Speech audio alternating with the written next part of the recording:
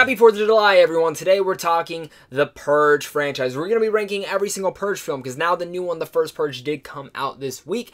I'm really excited to talk about it because the Purge has kind of been a guilty pleasure franchise. I did just finally rewatch them all, which was so-so at some parts, but also a lot of fun in other parts. So guys, make sure to comment down below and tell me your guys' ranking is of all the Purge films. I'm curious to hear your guys' thoughts.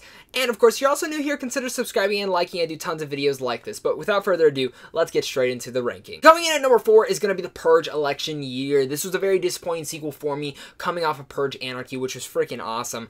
Purge Election Year just it tried toning together the horror and the action thrilling vibes and it just didn't mesh very well. There's too many subplots again and there's too many characters that i just don't care. And a big thing that drags down this film is the whole chocolate bar subplot. I i know some people like that but i absolutely hated that whole sequence. I hated that whole thing and it really just dragged down the film. Yes there are some cool action sequences in here. Yes we get our badass kick-ass dude from the second film again but for some reason this film just didn't work for me. I, I thought it was a little too weird and kind of went off the rails from the other Purge movies. Me at number three is going to be the very first Purge film. The very first Purge film is fun. I, I, I, think it's fun. Ethan Hawke is a great performance, and so does Lena Headey from Game of Thrones. She's fantastic in here. Yes, they didn't full on go with the whole concept of the purge but i do think it is a thrilling film. There is some good scares in here and it does introduce us to this concept. I think this is the first film where they didn't really rely on the government things. They just made it a haunted kind of house film where you're just in a house trying to survive kind of film and in a sense it works in a sense it doesn't but i do think this film is at least fun in some aspects. Yes some stupid writing. Yes some other stupid problems that go on in this film and yes the film is short but I kind of think that's a good reason to be short. I think the first Purge does work in what it was trying to set out to do. Coming in number two is going to be The Purge Anarchy. Now, this is the film that really dragged me into the whole Purge thing. I absolutely thought that exactly what The Purge should be is this film. A B-rated action film, kind of that grindhouse film. And that's what this film did. I loved what they did. Again, the film has the same issues as the other ones too many characters, too many subplots, and too long to get into the killing. But once it gets in there, it gets in a little bit too fast, perfect.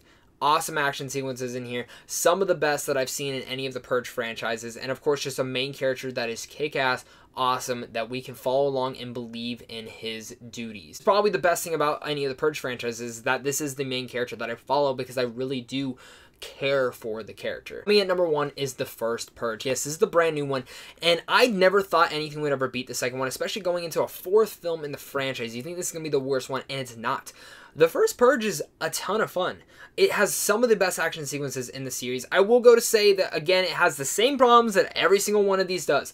Too many subplots, too much government interference, and too much government exposition that we don't need. And yeah, given, yes, Dimitri you don't really care about. There's nothing to really care about him, but he's a badass. He's going to be the next Blade. And I love that aspect of what they did with the character itself. I love when they do touch on that stuff, and I think this film, again, has the best action sequences. It was a total blast to watch in the theaters, and I really much enjoyed this. Maybe, again, I came off the third one not wanting to see another Purge. I got this one, and it totally surprised me, but I do think the new director, Gerard really did help overall. Guys, that's my Purge ranking. Thank you guys so much for joining me on this Purge ranking. It was a ton of fun rewatching all these films again. I think these are really much guilty pleasures with some really good vibes to them. And if you guys have never watched the Purge films, I do really recommend that you at least try them out, especially if you're in a horror fanatic kind of vein. And comment down below, tell me what your guys' ranking is. I'm curious to hear your guys' thoughts. Hope you guys are all having a happy 4th of July. If you guys are new here, hit up all my social media links so we talk more geeky stuff consider subscribing and also go hit up Sandwich John Films down below because right down there you guys can get into advanced movie screens, check out some movie news, and also some movie reviews. So guys, until next time, stay classy and have a great rest of your day.